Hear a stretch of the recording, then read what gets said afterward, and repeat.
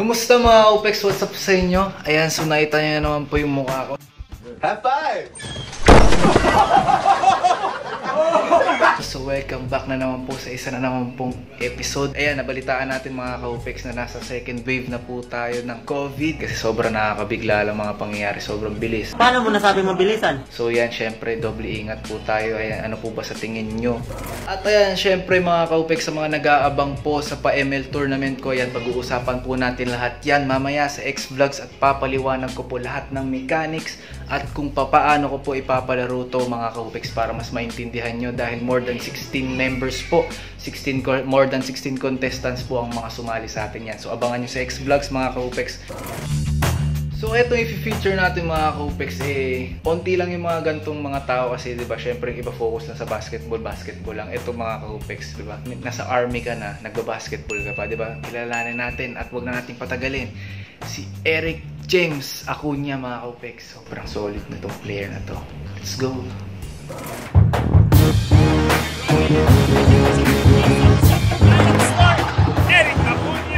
What's up mga kahupex? I'm Eric James Acuña, 30 years old, point guard, 5'7", from Taguig City. I'm currently playing in MPBL Bacoor City Strikers.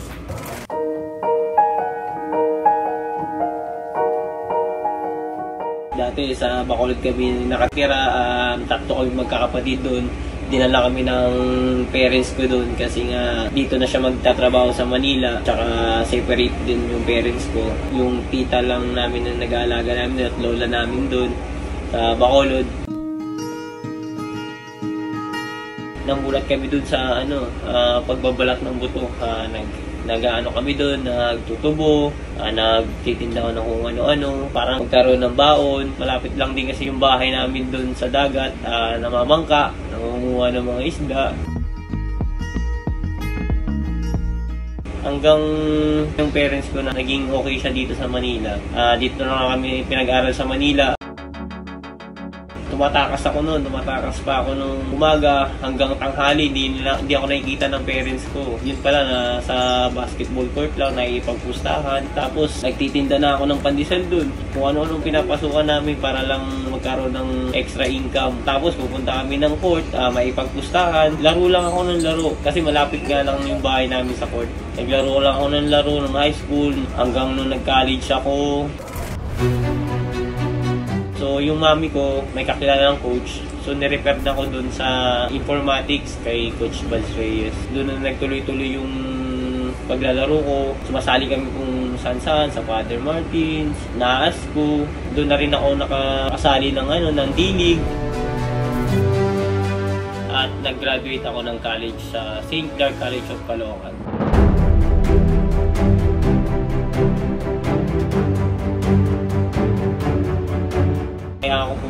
Sa Philippine Army kasi ito yung trabaho na alam ko na panghabang buhay. Tsaka ito yung makakatulong sa family ko. Tsaka makatulong na rin sa bayan natin.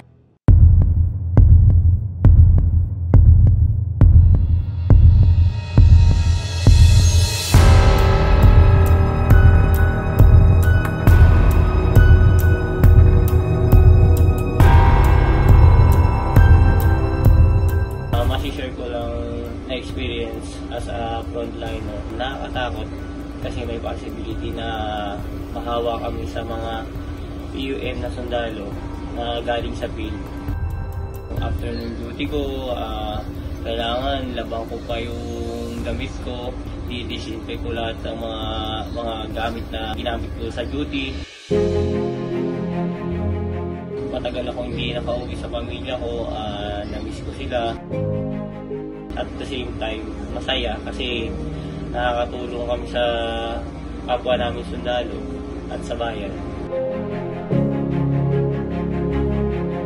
So yun mga Kopex na yun nga syempre nakakatuwa lang dahil yun nga isa siya sa mga frontliners nakakamangha dahil napagsasabay niya yung pagbabasketball na niya at pagsisilbi niya sa ating bansa syempre iilan lang yung nakakaya ng mga ganyang bagay di ba? Sobrang nakakabilib. Iilan lang yung mga ganun mga Kopex yan di ba nakaka-inspire talaga. Hindi naman siya basta-basta naglalaro lang. Hindi lang yung basta-basta hobby. Focus niya yung determination niya yung passion din niya nandun din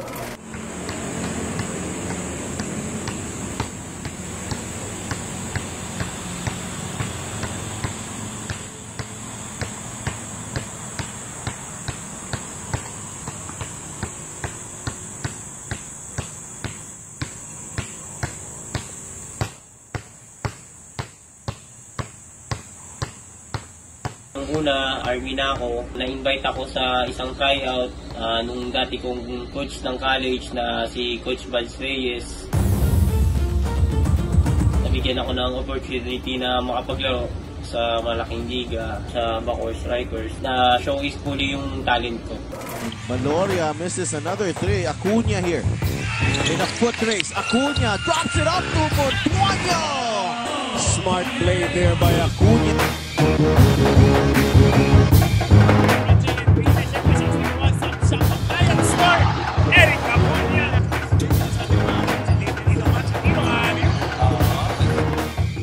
Player ang mga ko-compare sa game ko? Si Steve Nash kasi idol ko yun.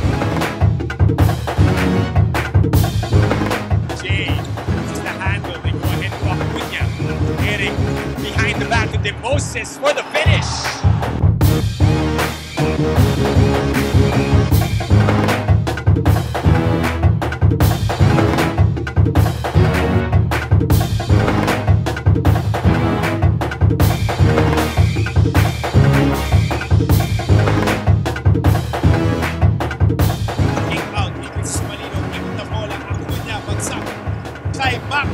Montuano.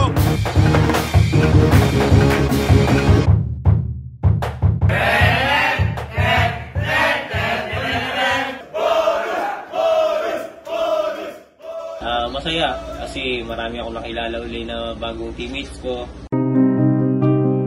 Siguro yung uh, ibibigay ko lang na tip as a point guard, i-involve mo yung mga teammates mo. Ah, huwag mo muna isipin yung pang sarili mo.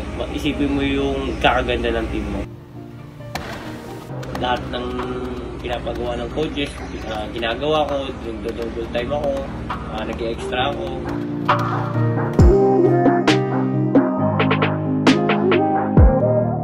Ah, thank you pala sa Hoop X Basketball. Ah, shoutout pala sa Bacoor Strikers, sa Team Army, sa mga tropa ko dito sa EP Village Housing. Ah, shoutout din ah, sa kapatid ko, si Combs, ate ko, nasa Maldives, floating, at saka sa kapatid ko, kay Abigail, tsaka sa mag-ina ko, ah, shoutout din sa mama ko, at saka sa tanan na Ilonggo, dira sa ano sa Bacolod.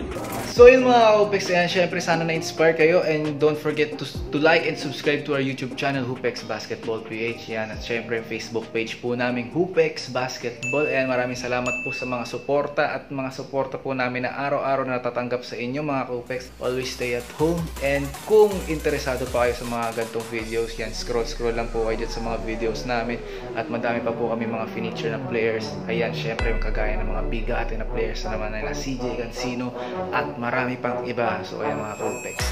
Scroll-scroll lang kayo dyan at syempre habang nasa bahay kayo panood, panoorin nyo lahat ng mga videos namin dyan. Ayan, hindi kayo mabibigo.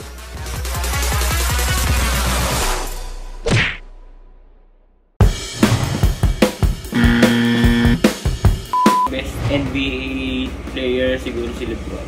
LeBron James. Who's the GOAT? Tingin ko Jordan pa rin.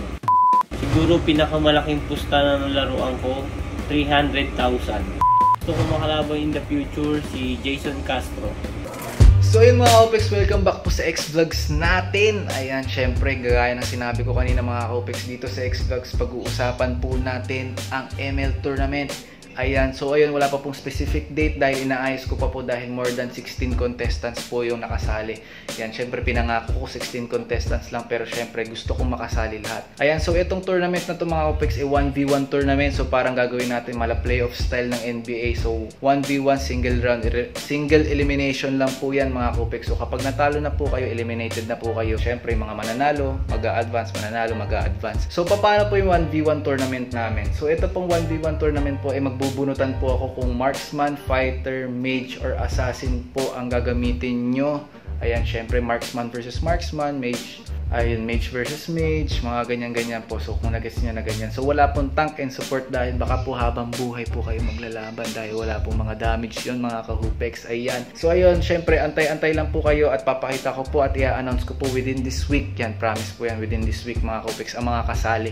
And gaya nga po na sinabi ko sa inyo, ang premyo po mga kahupex eh sarili ko pong pair ng mga sapatos kagaya yan nga ng NMD Pharrell at ng Nike Air Max. So mga Kopex, abang-abang lang po kayo at panigurado po yan matutuloy po. Syempre, isi-stream ko po yan live sa Facebook and ang highlights din po sa YouTube. Kaya abang-abangan nyo lang po yan mga Kopex. Magla-live din po ako dito mismo sa page po at yan, pakiabangan na lang po.